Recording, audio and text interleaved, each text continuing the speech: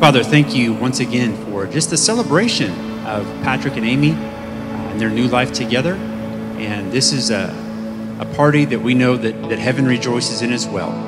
And so thank you, Lord, for the food. We ask you to bless it and the hands that prepared it. Bless all the, the staff of Bauerhaus, Lord. We're grateful for them making this a special and memorable evening. And uh, bless our time of fellowship around these tables. In Jesus' name.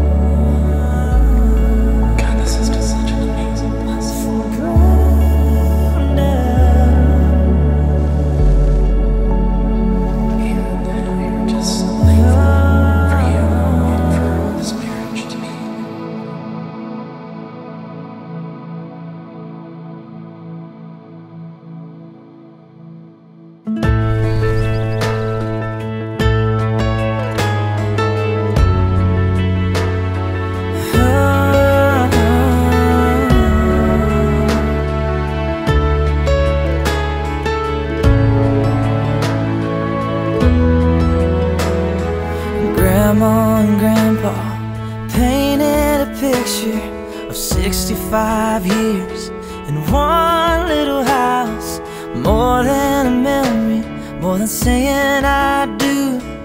Kiss you good nights and I love yous.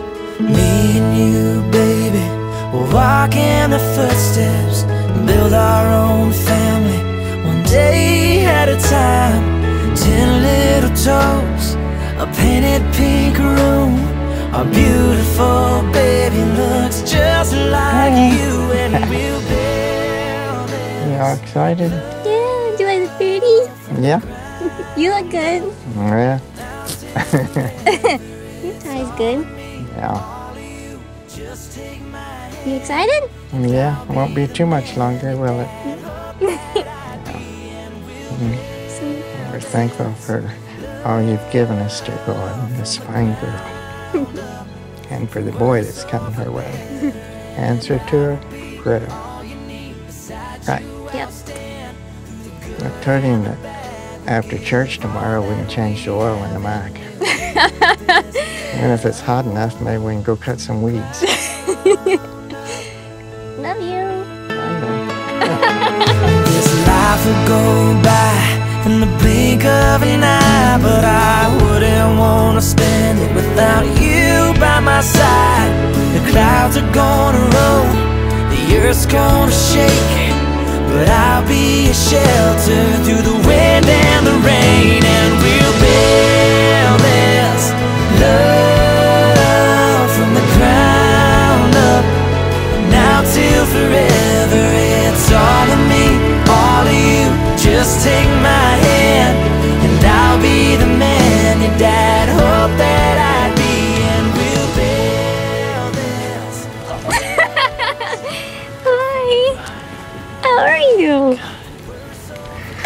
You're so beautiful.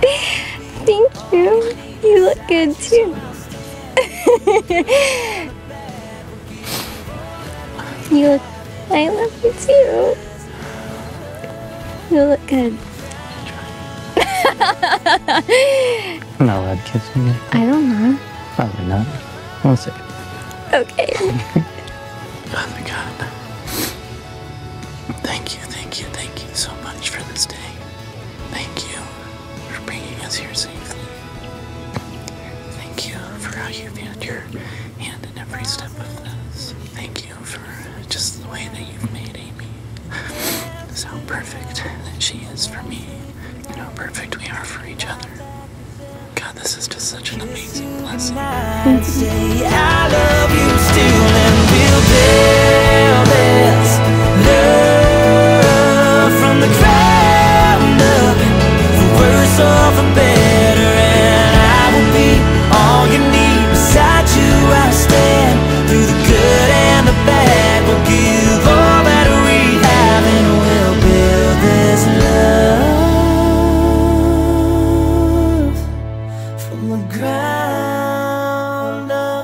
Patrick and Amy, I want to encourage you to take just a minute to soak in this moment. Months and years from now, this day might become kind of fuzzy, it might become a blur. So take just a moment to turn and face those who are gathered here, all these people who love you, and take a snapshot in your mind, soaking up this moment as a loving memory for the rest of your lives. Today, our prayer for you, Patrick and Amy, is that for better, for worse, for richer, for poorer, in sickness and in health, until death do you part, you may know the power of a promise kept. And may God, who has made an everlasting covenant with us, give you the strength to keep your promise, not just for today, but for a lifetime.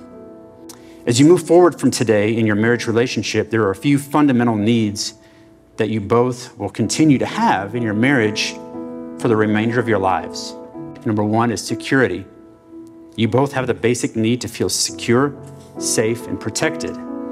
Trust is a major component of this sense of security. So, the most important thing you can do to build relational and financial security is to always be truthful with one another all the time. The second is conversational companionship, just talking to each other. I want to encourage you to reserve time for one another to keep your relationship fresh. It's inevitable in marriage that distance creeps into the relationship because of the busyness and demands of life. So be intentional about connecting with each other through meaningful conversation and continue to dream together. Number three, significance. Both of you have a need to feel respected and appreciated for the roles that you will fill in your marriage. You want to know that what you do counts, that it matters. Be sure to affirm one another regularly in the roles that you fill. Number four, affection. This is a need that Amy, as the wife, will especially need. She needs to feel treasured and valuable. Affection can be expressed both verbally and through touch, so commit to express affection to one another daily. And finally, physical intimacy. And this is where everybody goes, Is he really going to talk about this in the wedding? Well, my wife and I have a friend who likes to say, the devil does everything he can to get a couple into bed before their wedding day and everything to keep them out of bed after the wedding day. God has designed marriage as the designated relationship in which a man and woman are to enjoy physical intimacy with one another. So take the time and effort to invest emotional energy into your physical relationship.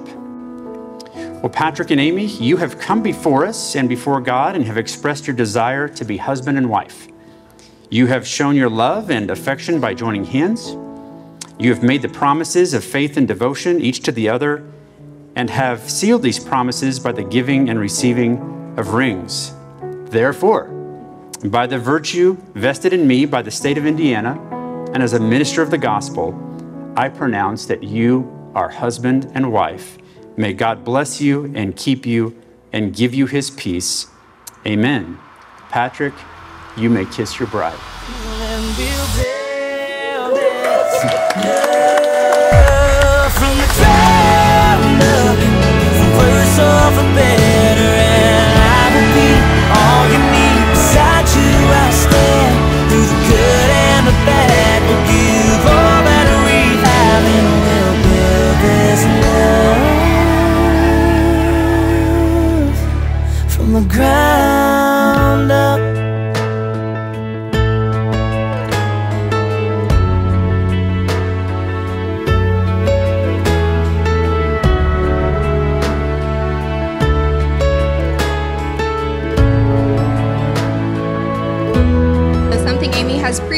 Long as I've known her is that love is a choice. It is not a feeling, it is an action. It's something you choose every day. Six billion people in the world, six billion souls, and sometimes all you need is one. So, to the newlyweds, I'm glad you've each found your one.